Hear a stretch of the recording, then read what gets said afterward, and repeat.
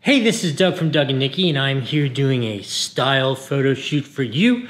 I actually just bought this Under Armour cool gray shirt. I am a little bit of an Under Armour fanboy, but the reasons I like them is they always fit right. Okay, so here's the key, camerawoman, if you back out just a little bit.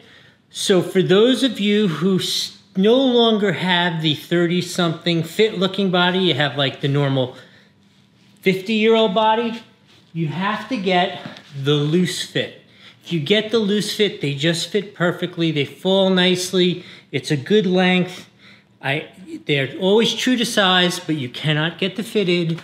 Otherwise, your wife will look at you and she'll be like, yeah, no, it's not But it perfect. is nice because it is a little bit tailored in on the side. It's not Yes. A huge. It's not a, it's not one of the like the tent looking ones, right? exactly. And how's the fabric feel? Fabric feels nice. Feels Yeah. nice. And it's got a little ribbing. It's actually It's got a little nice. ribbing. It's got yeah. So it's not just like a plain gray. It's got a little Yeah. depth to it. Yeah. But in any case, I really like it. If this video and these kind of videos are helpful to you, where we bring you lots of information, down below, one of these, and it's really, really appreciated. Thank you very much.